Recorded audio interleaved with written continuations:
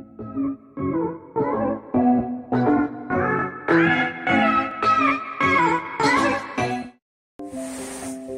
everyone! Welcome back to my channel. At saka sa hindi pa nakakapag-subscribe, please subscribe my channel and hit the noti- notification bell para updated kayo sa ating mga upcoming videos.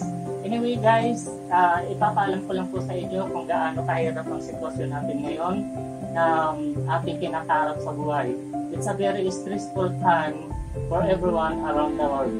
And our life is very far from normal. Imagine, Uh, kung napapansin nyo, galing ako sa trabaho, ito yung suot ko, naka-face shields, naka-face mask, saka naka-guantes, saka meron akong daladalang medical certificate para ito yung ipapresent natin sa mga um, frontliner just in case na um, mayroon tayong papasukan na um, mall or di kaya kung gusto mo mag-groceries, basta lahat-lahat sa kahit pagsakay natin ng jeep, kailangan natin to.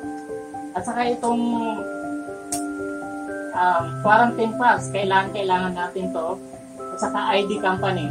Imagine, meron akong gustong bilhin kanina sa um, um, palengke. Hindi ko lang siya nabili dahil naiwan ko ito. So, ganun ka hirap ang sitwasyon natin ngayon. So, lahat-lahat tayo guys, kailangan natin ihanda itong face shields pag tayo magtatrabaho habang tayo naliligo, kailangan natin ihanda lahat yan. Itong medical, saka itong face mask, kailangan natin itong ihanda.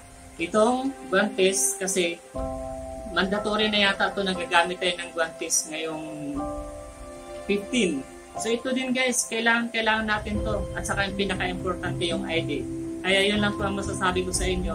Magiging aware tayo sa lahat-lahat ng nangyayari sa atin um, kinakaharap na problema. Yan lang po. Maraming maraming salamat po at magandang hapon.